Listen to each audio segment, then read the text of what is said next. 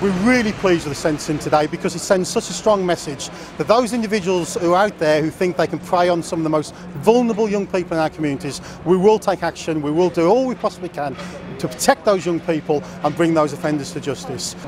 These substantial sentences do send a really strong message, not only to people out there who think it might be, pro think they can get away with targeting some of those vulnerable young people in our communities, but also the victims themselves. Because what we want those victims to draw strength from is to say they will be listened to, they will be believed, and, and ourselves, our colleagues in Children's Services, the Crown Prosecution Service, will do all we possibly can to bring the people responsible to justice. This investigation started as a result of a, a decision made at the beginning of 2013 by Cambridgeshire Police and Peterborough Children's Services to proactively go and look for child sexual exploitation. We, we um, identified a, a, group of young people that we went and talked to and we said to them, look, you might not want to talk to us today, you might not want to talk to us in three weeks or three months, but what we want to do is to gain a, a position of trust with you and so you can share your experiences, what you've experienced, what you've heard, what you think other young people have gone through. And that approach has really paid dividends on today's investigation.